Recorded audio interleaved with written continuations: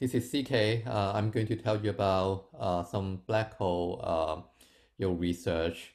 Now, because the, the background of you know, this group of people seems to be quite diverse, so I will start with some really, really simple uh, background on uh, on black hole. So you know, the, the whole reason we are interested in, in black hole is to study uh, gravity. And it turns out that Einstein's general theory of relativity is still our best theory to describe gravity. And you know, actually described that gravity is not a force. Instead, it's a consequence of that your space-time can be curved. So I have a little uh, animation here that you know, when there's no heavy object around, then you know, the space-time is flat, and then particles, photons, or whatever, they will just move in straight line, like uh, was in the animation now. Now, however, if you have some uh, heavy dense object like a star, like a black hole that curves the space-time, then even though the particles and photons want to move in the most strict uh, your possible line, because the space-time itself is curved, so they will end up you know, curving uh, in, in their orbits. So John Wheeler, uh, gave a very good uh, quote on this. He, you know, general relativity pretty much says space-time tells matter how to move and matter tells space-time how to curve. And you know, this is not just a, a idea. This is very well tested. There are a lot of tests on general relativity, mainly in the solar system. However, uh, you know, we don't really know if the theory is still valid when we go to very dense uh, object. And you know, if you just look at the theory itself, uh, there is a very interesting prediction that if you put uh, enough matter in a small region, you can curve space-time so much that all the light cone will point toward a central singularity. So uh, on the left here, this is a you know, actually a graph from a very old textbook. So these are the, the light cone, uh, the cone pointing on the top that's your future. So the idea around black hole is you once you pass this surface called the event horizon, the all of your future actually point inside the black hole. There's no way for you to escape. And if such an object exists, then you can you know, consider thought experiment that you have this you know, black hole and you shine a flashlight onto it. And if you do that, because the, the space-time is so curved, that even light, you know, some of the these rays will actually orbit around black hole and some of them will go back to you. So when you look at this object, you will see a very bright uh, ring uh, coming back. So this is the observation signature that you know, many of us astronomers want to uh, capture. So in order to do this, uh, you know, part of my research is with the Event Horizon Telescope. So this is a collaboration of more than 200 uh, members all around the world that we use multiple telescopes uh, trying to capture this event horizon uh, and this photon ring that I, I showed you earlier. So in 2017, uh, we use uh, eight telescopes all around the world to form a big array. And in 2018, in the coming year, we will be using 12 different telescopes. Uh, I won't go into the detail of the observation uh, technology, you know, even though I, I actually spent most of my time in the last few years working on the data. But yeah, this is a GPU talk. So I'll just go through uh, you know, very quickly the, the data pathway, and then I will jump back to the, the simulation part that we use the GPU. So when we take the obs observation, we actually record the radio waveform from the black hole. So uh, the data rate was, was very big and within a week, we actually fill up five petabyte of data. And because we have a telescope at the South Pole, it's you know, not possible to, to transfer the data through the internet. So we actually physically uh, you know, ship this hard disk to our uh, data centers. So these are just a couple of pictures, and this is our your physical library of data. And at our data center, we have a step called correlation. What that does is to remove the noise from this five petabyte of data, reduce the data volume by a factor of thousand, and then we end up with about five uh, terabyte of uh, actual data that can be used. And then there's another step called fringe fitting that we remove the systematic uh, from the data set, and that reduce the data by another 10,000 uh, times. And after that, we will work with a small data set and we can finally apply our feature extraction imaging technique to get the science out. And we can also reconstruct the, the black hole image. So you know, this is a your effort of uh, large collaboration. And from this image, there are actually a few interesting things. So at the center, you know, this dark part is the black hole shadow. So this is a you know, direct evidence that event horizon you know, actually exists and uh, general relativity is correct uh, you know, to the you know, even in the regime of uh, strong gravity. And we have a ring. The, the fact that the shape of this ring is, is circular, it actually tells us something because different theory of gravity actually predict different shape of this photon ring. So uh, you know, with the, you know, just with this picture, you know, we can measure the shape and the agreement actually confirmed that uh, Einstein's general relativity is correct. And also the asymmetry uh, you know, in this ring also tell us the how the plasma uh, move around you know, around the black hole. So you know, this picture tells us a lot of information. But you know, in order to really connect this to theory, we need to uh, carry a lot of numerical simulations. So we actually have a uh, simulation library, and we use these models to compare with the observation, and then and then and then we can extract the, the physical parameter that we're interested into. Okay, so in order to simulate this black hole image, there are two major steps. One is called general relativistic magnetohydrodynamic. So this step, we pretty much just follow the plasma around the black hole uh, and then we follow the turbulence flow. We study the dynamics of uh, this plasma. Now, I won't be talking about this, you know, although there actually GPU accelerate GLMHT code out there, that's actually not my expertise. Uh, my work is mainly about the next step that's called general relativistic ray tracing. The idea is we want to follow photons in this you know, curved space-time in the accretion flow. So this following uh, graphic actually describes pretty well so we set up a grid of photons and at each pixel we just trace the ray back to the GLMHD simulation. This your uh, colorful uh, volume rendering here, this is the GLMHD simulation that your my colleague did. And then we perform this ray tracing calculation, integrate the radiative transfer equation along the ray to get the final image. So this is a problem that you, uh, many people have solved. You know, I'm not the first one who, who did that. Uh, but many of the, the previous study, uh, you know, they are done in, in CPU, and I'm actually the first one who, who solved this problem on GPU. And this is a benchmark uh, from our first paper that we show just doing things on GPU without too much optimization is already a factor of 30 faster than existing uh, CPU cores.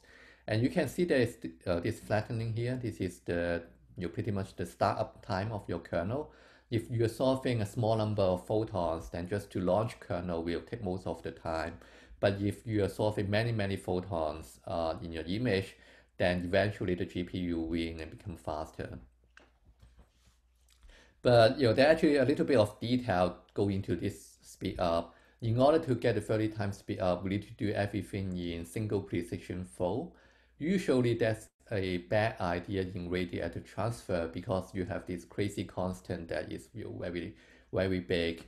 And dividing and multiplying them will give you your either NaN or zeros. So uh, when we develop the kernel, we were actually you know, quite careful and we manually regroup the terms so that all the variable we save as a, a single precision float that turn out to be you have a range that is within the, the your allowed range of floating point. So after you do this you know, kind of careful rearrangement, then single precision actually work very well for ray tracing. And a typical uh, image movie will actually look like this. So this is now a movie of this uh, general relativistic ray tracing calculation. Uh, you know, this is a three color channel image. Red is some long radio, green is optical, and blue is X-ray. And here I'm swinging the, the camera so you can see things uh, you know, around the plot. So uh, this vertical part here, this is the funnel or the jet of the accretion flow. And then this other part, they are the infalling plasma. And you can also see a ring, uh, a very thin ring here. This is the ring that I, I said at the very beginning that you know, some photon actually will turn back to you. And once a while, you can also see some you know, bright flux tube uh, showing up in this movie. So that corresponds to uh, magnetic reconnection, you know, just that event. So this turns out to be you still the you one of the leading explanation of why you we observe some of the variability from black holes. And uh, this is another you just eye candy animation showing you that uh, the black hole actually looks different at different wavelengths. So let me try to move back to the beginning. So in a very long uh, wavelength, uh, say radio, the plasma around the black hole is optically thick. So you cannot see the black hole. All you see is the plasma around it. But when you move to uh, shorter wavelength, higher frequency, all of a sudden the plasma become transparent and you can finally see the, the middle black hole. Okay, so at the end of this movie, this is 1.3 millimeter wavelength. So this is exactly the frequency that the EHT observed the black hole. So this kind of your simulation, uh, they are not just useful in uh, comparing the observation with you know, with model, but they are very also they're also very useful in predicting how the black hole will look like and help us design our experiment. Now this is another movie. So uh, in the 2017 data, we captured the, the M87 uh, black hole. So this is you know, our current uh, your simulation with all the fit parameter. So we actually believe this is you know, if we have much higher resolution, this is how M87 would look like. Right. So uh, M87 is only one of the main black hole that we are observing. Uh, we are also interested in the uh, black hole at the center of the Milky Way, uh, the Sagittarius star. And for that black hole, it's much well studied. There are a lot of different observations, uh, including your X-ray, different frequency. So we are able to use those information to constrain model this is a spectrum. You again actually calculate by a GR ray tracing uh, calculation. So we can use the X-ray flux to constrain our model. We then use some uh, your other wavelength, and then we use the 1.3 millimeter uh, size observed by the EHT, and then we also use the optical to make constraint. So uh, you before the EHT collaboration form, this is actually the biggest uh, study we had because of the GPU code, even though each single calculation is quite short, we are able, you know, with the acceleration, we are able to run millions of image and form a re really big image library. And by, you know, by comparing this image library with all the different constraints, we, you know, we are able to come up with five best fit model. So the EHT is still working on the Sagittarius image, but you know, these are the five possibility that how, how Sagittarius will, will look like. Now, I mentioned earlier that different uh, gravity of theory will give you different prediction of the shadow uh, size. So this is also something, uh, some science we can do with uh, general relativistic ray tracing. And you know, finally, uh, you know, in addition, once we get the, the parameters, we can ask uh, you know, the ray tracing algorithm again to actually compute a whole time series of simulation and then we can start you know, predicting the variability of, of these different models. So this is uh, you know, again a, a movie showing such a model. The left two panels here, these are the radio wavelength. This is the 1.3 millimeter optical, and on the right, the blue channel, that is the, the X-ray. And uh, you know, the lower panel here shows the light curve, how these uh, different wavelength vary. And you know, if you you look at the, the image, once a while again you form you can see this very bright uh, flux tube showing up. So again, these are the you know some of the explanation of why we are seeing flares in in these black holes. Okay, so uh, you know, I know this is GPU for science, but GPU is about graphics. So you know, our group also uh, you know, use GPU to do visualization, we actually develop a, uh, a software using Oculus Rift actually not the Microsoft HoloLens. So we, we have a virtual reality visualization tool to uh, overlay this GLMHD simulation and the GLRT simulation so that we can map the features we see in this GL calculation back to the features in the uh, in the uh, GLMHD simulation. So that is very helpful in understand what's going on in, in these calculations. Okay, so I guess I, I you know I'm short in time. So let me just go through some you know some recent development. The the, the code I showed you earlier that that was done in uh, CUDA, uh, but our new development we are, we are switching to OpenCL, and we are also changing coordinate. It turns out that you know in general relativity the coordinate is, uh, is free. You can get the same physics with a different coordinate. So we use something called the Kerr-Schild coordinate. Usually that's considered more expensive, uh, computationally uh, more expensive coordinate. But we work out some symmetry in the equation and we find our formula to simplify that so that you know, the number of operations is not that much higher than the Boyer-Lindquist coordinate. But because Kerr-Schild is Cartesian, so now we can get rid of all the coordinate singularity in the previous code and this is a benchmark of our new code. So on single precision, this is you know, super fast. It's 0.1 nanosecond per photon step. Uh, but even in double precision, you can see the the Kerr-Schild coordinate, our singularity free uh, formalism, it can be even faster than, than the standard formalism that other people use. And uh, these are some convergence tests. And again, I want to highlight that you know, the change of coordinate, even though the computation is more expensive, you get rid of the singularity and you, our array can just go through the pole without any problem. And uh, you know, finally, let me just tell people that uh, your auto ray tracing itself is quite simple. It, you know, it is a foundation for some other interesting work. So when I say ray tracing, this is actually very different from you know, what the industry call ray tracing because we are just integrating ODE, so the rays they don't really you know, scatter around.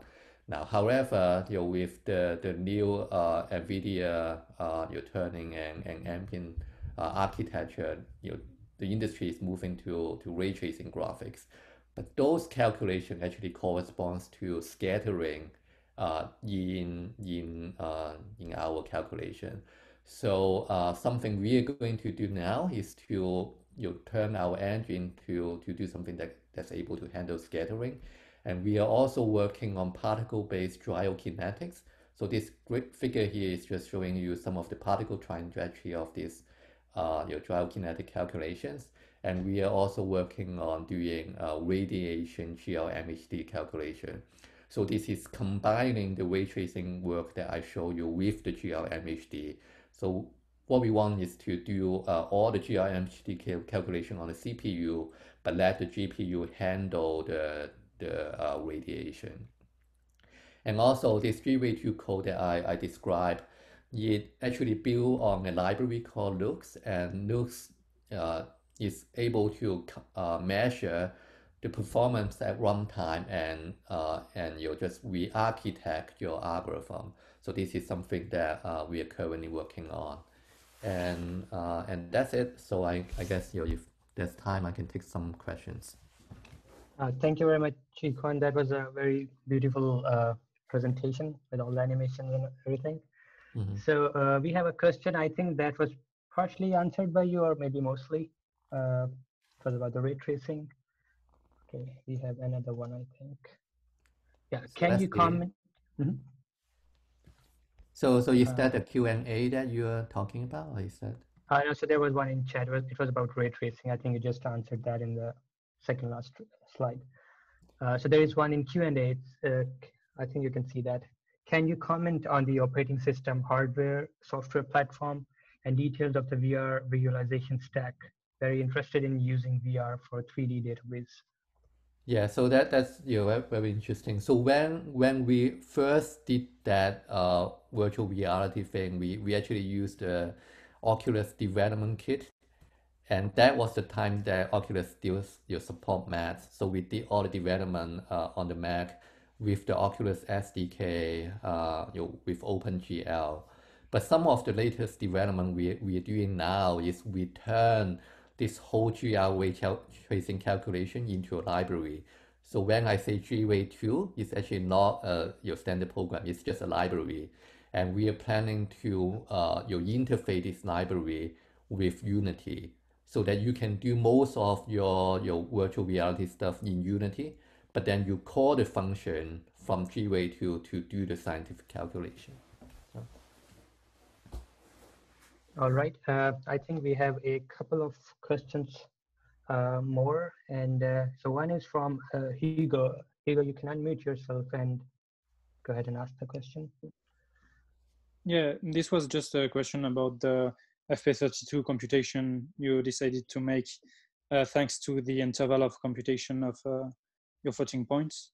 So that uh, you were actually able to, to do the computation inside of the FP32 range.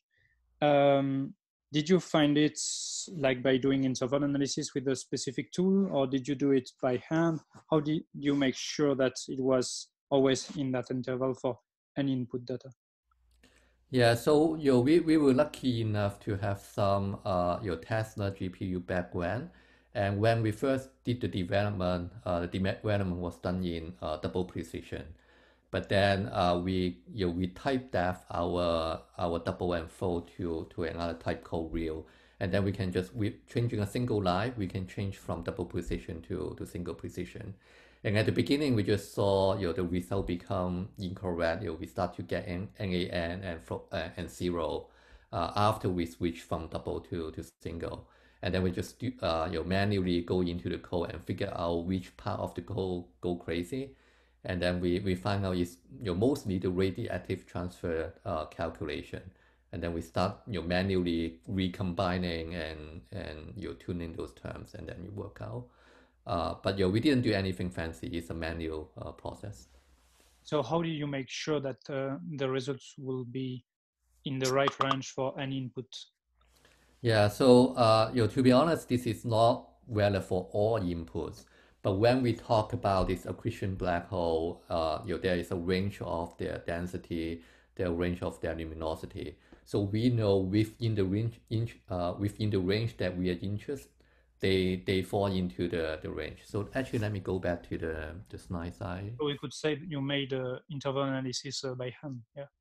Yeah. So so if you look at um, this slide here, so we have actually have some comments in our code showing within the range that we are interested, what is the typical value of this parameter, and what is the range of these different things. So you know, again, everything is done manually, uh, but yeah, we just find this very, very uh, useful because it allows us to turn a double precision calculation into a single precision one. Nice, thank you. Mm. So uh, we have another question from the organizer, but before we go towards that, uh, there's a small announcement. Uh, we have a tutorial on OpenACC starting in about 15 minutes. And the tutorial uh, will take place in the breakout room, the other Zoom link that we have. I think it will be going up in the chat shortly, or if you're in the Slack channel, or you might have received the email as well. So if you're registered for the tutorial, please start uh, queuing up there and you can start testing out your accounts. There will be some experts there to help you out. And anyone else interested in this question answer session, they can stay here. So I think Ashin has uh, a few questions. Ashin, go ahead. Hi there. Um, I was just wondering if you would comment on the relative value of physical transfer of data um, from remote locations to um, either the investment in infrastructure to bring the data out or um, some sort of local processing, maybe using something like GPUs. Oh, so uh, I guess you are referring to the um, to the observation part of my project instead of the ray tracing calculation. Uh, yeah, a little bit. Um, well, it's more the so the observation was done at a variety of pretty remote sites, and you said it talked about having to physically transport the data, as in your hard drives in a presumably being Antarctica, a ship or a plane.